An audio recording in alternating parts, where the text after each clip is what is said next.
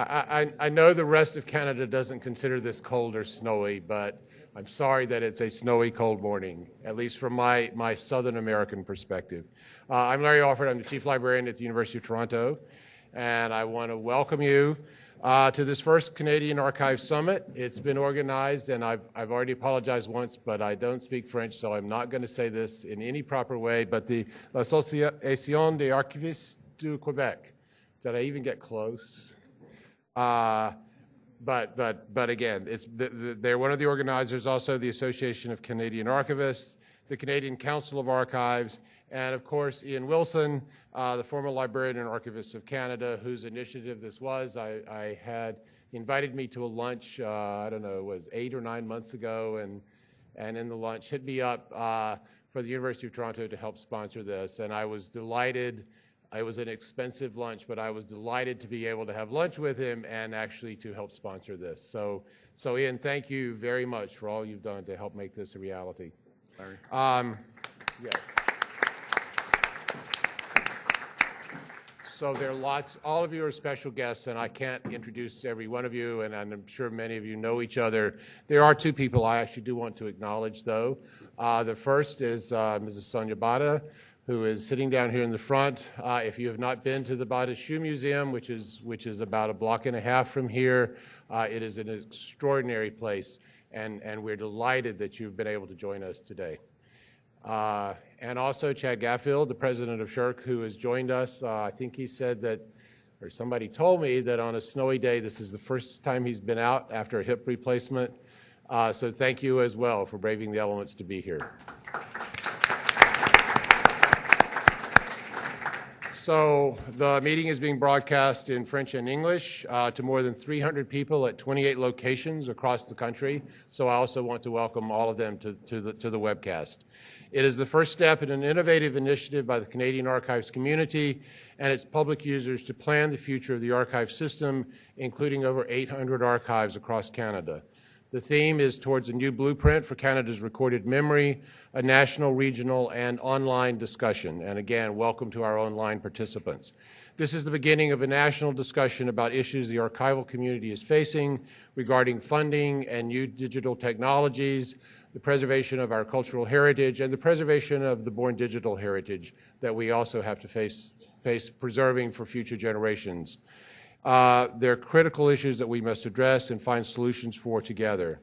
I believe, some of you have heard me say this a number of times, I believe deeply in, in the role and mission of libraries and archives to preserve for the future the record of the past, the cultural and the historical record. I really do think it is one of the most important things activities one generation does for another, and then the next, and then the next. And I believe our unborn great great grandchildren will judge us on our success or failure uh, at preserving the record, the record in a time of turbulent change in information. So our present is, is their past, and we, we have an obligation, I believe, to make sure that they understand their past. Uh, to quote Arthur Doughty, the Second Dominion archivist, Quote, of all national assets, archives are the most precious. They are the gift of one generation to another, and the extent of our care of them marks the extent of our civilization, end quote. Uh, many years ago, about probably 15, 16 years ago, when I was at the University of North Carolina, we began an early digital project, a sort of curated boutique project to, to preserve or to digitize rather the extant copies of what are known as slave and ex-slave narratives uh, that, that essentially document the, the terrible period of American slavery. Um, and we found in some cases there were only two or three extant copies of those books, but we managed with the partnership of libraries across actually the United States, Canada, and Europe to find a copy of every single known copy and, and create a, a digital database of those texts. But what was really compelling were the letters we got from people literally around the world who were the descendants of many of the African Americans who endured slavery uh, who had not read these narratives of their ancestors. And, and uh, the, the, the, letters, I can't tell you how compelling those letters were. Um, those were about books, but I think it's also important to make archival collections as widely as accessible as possible as we tried to do with those narratives. We're living in an exciting time in which digital digitization affords us unprecedented opportunities to open up access to these treasures and also to aid in their preservation. Uh, although digitizing rare and archival material can expose them to some risk, uh, and I understand that through handling and image capture, I believe that some limited risk is reasonable if it results in much wider access and long term preservation, but a case by case analysis must be done. We must respect the materials entrusted to us while finding ways to open up the cultural and historical record as widely as possible.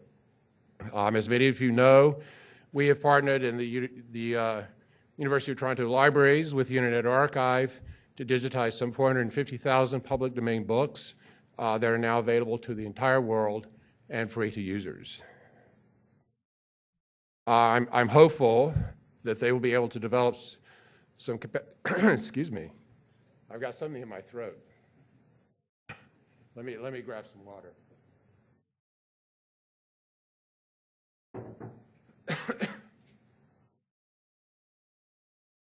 I apologize.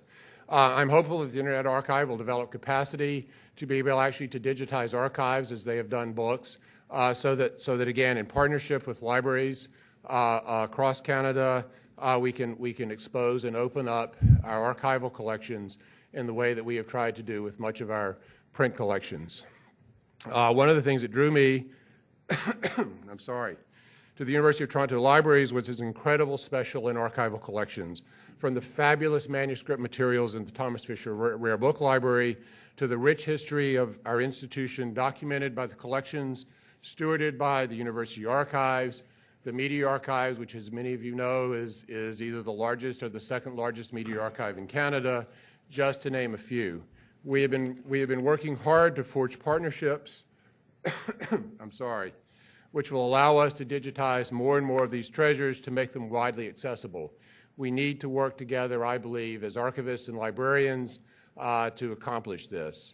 So I think it is a wonderful thing that we are opening this dialogue here at the University of Toronto, and I'm delighted again that the University of Toronto Libraries is a sponsor for this event.